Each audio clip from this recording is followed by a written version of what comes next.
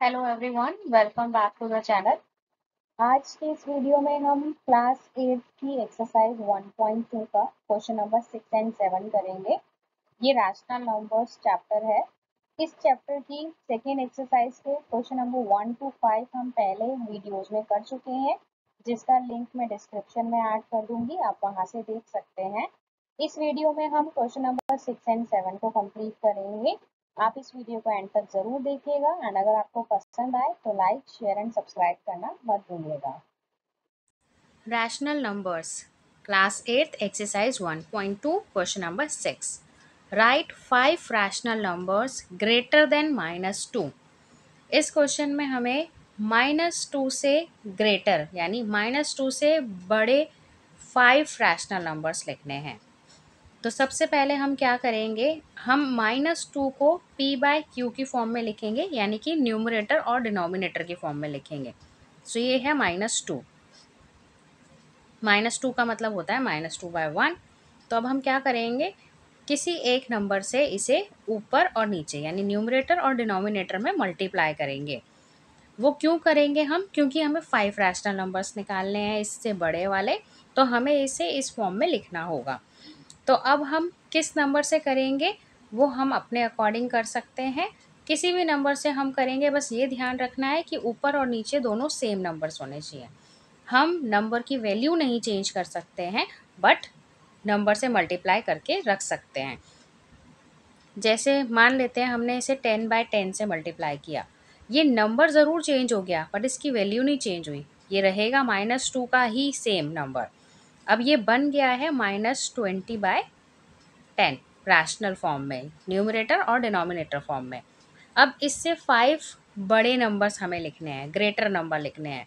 सो so, पाँच बड़े number लिखने हैं इसका मतलब पाँच बड़े नंबर कौन से होंगे? ये है माइनस वाला नंबर नेगेटिव नंबर और हम पहले पढ़ चुके हैं नेगेटिव नंबर्स में जो है वो जो नंबर छोटे दिखते हैं वो वैल्यू में बड़े होते हैं। सो ये माइनस ट्वेंटी बाय टेन है।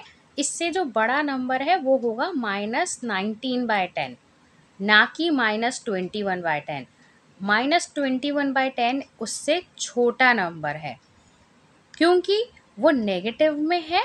नंबर भले ही देखने में वो बड़ा लग रहा है लेकिन नेगेटिव में चला गया तो उसकी वैल्यू कम हो जाती है। सो so, अब इससे बड़े पाँच नंबर कौन से होंगे?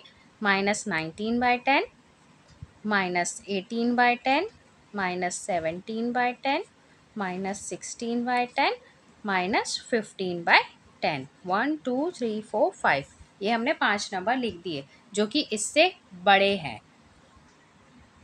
Question number seven find ten rational numbers between three by five and three by four अब हमें इस क्वेश्चन में दस रैशनल नंबर्स निकालने हैं थ्री बाय फाइव और थ्री बाय फोर के बीच में। सो so, हम सबसे पहले क्या करेंगे? इन दोनों नंबर्स को लिख लेते हैं। Three by five and three by four और सबसे पहली बात जब भी हम दो रैशनल नंबर्स के बीच के रैशनल नंबर्स निकाल रहे होते हैं तो उसके लिए हमारा दोनों नंबर्स का डिनोमिनेटर सेम होना चाहिए जो कि यहाँ पर अलग है। तो सबसे पहला काम है हमारा कि हमें इनके डिनोमिनेटर सेम बनाने हैं। सो so, इनके डिनोमिनेटर सेम बनाने के लिए हमें क्या करना होगा? सबसे पहले इसका एलसीएम करके देखना होगा। तो वो हम क्या करेंगे? वो हम रफ़ में करेंगे। ये हम रफ़ साइड बना लेते हैं। फाइव एंड फोर का एलसीएम निकालते हैं। सो ये सबसे पहले टू से होगा। Five as it is, two की टेबल में आता है फोर, टू पे। देन अगेन टू से होगा। Five as it is, two की टेबल में टू आता है वन पे। अब बचा फाइव फाइव की टेबल में फाइव आता है वन पे। So two into two into five. Two two ज़ा फोर फोर फाइव ज़ा ट्वेंटी। सो इसका एलसीएम आया ट्वेंटी। तो इसका मतलब अगर मैं इसका डिनोमिनेटर ट्वेंटी कर दूँगी तो हमारा जो है, दोनों का डिनोमिनेटर ट्वेंटी हो सकता है। लेकिन हमें उसके लिए ये भी चीज़ देखनी है, क्या डिनोमिनेटर ट्वेंटी करने पर मेरे जो बीच में टेन रैशनल नंबर्स की मुझे ज़रूरत है, उतने रैशनल नंबर बन रहे हैं तो वो हम क्या करेंगे, वो हम रफ में करके देख सकते हैं। जैसे मेरा पहला नंबर है थ्री बाय फाइव अगर मुझे डिनोमिनेटर ट्वेंटी बनाना है तो फाइव को मुझे फोर से मल्टीप्लाई करना पड़ेगा। और अगर मैं नीचे फोर से करूँगी तो ऊपर भी फोर होगा। तो ये हो जाएगा ट्वेल्व बाई ट्वेंटी नेक्स्ट था मेरा थ्री बाय फोर इसमें अगर डिनोमिनेटर ट्वेंटी बनाना है तो फाइव से करना पड़ेगा, क्योंकि फोर फाइव ज़ा ट्वेंटी होता है। और नीचे फाइव है तो ऊपर भी फाइव आएगा। तो ये आएगा फिफ्टीन बाय ट्वेंटी जो कि अब डिनोमिनेटर तो सेम बन गया दोनों का, लेकिन हमारा जो न्यूमिनेटर आ रहा है, इसमें बीच में दस नंबर नहीं आ रहे हैं। तो ये है twelve by twenty and fifteen by twenty so denominator तो एज इट इज़ रहता है। डिफरेंस हमें सिर्फ़ ऊपर का देखना होता है न्यूमरेटर का। तो ट्वेल्व और फिफ्टीन के बीच में कितने नंबर आ रहे हैं? थर्टीन एंड फोर्टीन ओनली दो नंबर्स आ रहे हैं। बट मुझे जो चाहिए वो टेन नंबर चाहिए। तो इसका मतलब ट्वेंटी बनाने का तो कोई फ़ायदा नहीं है डिनोमिनेटर को। हमें इससे बड़ा नंबर सोचना पड़ेगा। सो so, क्योंकि अभी हम यहाँ पर इसका एलसीएम निकाल चुके हैं। ट्वेंटी तो हम क्या करेंगे? हम अब ट्वेंटी को ही किसी भी नंबर से मल्टीप्लाई करके कुछ टाइम्स बढ़ाकर हम उस नंबर को यहाँ पर डिनोमिनेटर बनाएँगे।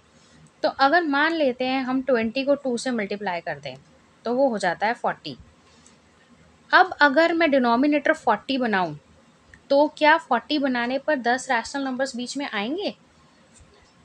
ये भी हम रफ में करके देख सकते हैं। ये है थ्री बाय फाइव अगर मुझे डिनोमिनेटर फोर्टी बनाना है तो मुझे एट से करना पड़ेगा और नीचे एट है तो ऊपर भी eight and three by four में अगर मुझे यहाँ पर डिनोमिनेटर बनाना है फोर्टी तो मुझे टेन से करना पड़ेगा, नीचे टेन तो ऊपर भी टेन तो ये हो जाता है ट्वेंटी फोर बाय फोर्टी और ये हो जाता है थर्टी बाय फोर्टी स्टिल हमारे दस नंबर नहीं आ रहे. ये है ट्वेंटी फोर ये है थर्टी तो twenty five twenty six twenty seven twenty eight twenty nine thirty six numbers ही आए हैं ओनली बीच में. बट मुझे टेन चाहिए। इसका मतलब ये हुआ, अगर मैं ये ट्वेंटी को टू की जगह फोर से मल्टीप्लाई करके एट्टी बना दूँ तो मेरा यहाँ पर दस से ज़्यादा नंबर निकल आएँगे।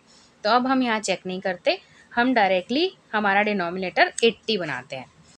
सो अब एट्टी बनाने के लिए हमें क्या करना पड़ेगा डिनोमिनेटर को? फाइव के हमें एक ऐसा नंबर सोचना पड़ेगा, जिससे मल्टीप्लाई करने पर एट्टी आ जाए। सो so, अगर मुझे यहाँ एटी लेके आना है तो मुझे यहाँ पर सिक्सटीन से मल्टीप्लाई करना पड़ेगा। सो so, अगर मैंने नीचे सिक्सटीन से किया है तो मुझे ऊपर भी सिक्सटीन से मल्टीप्लाई करना पड़ेगा। तो यहाँ पर तो एटी बन गया।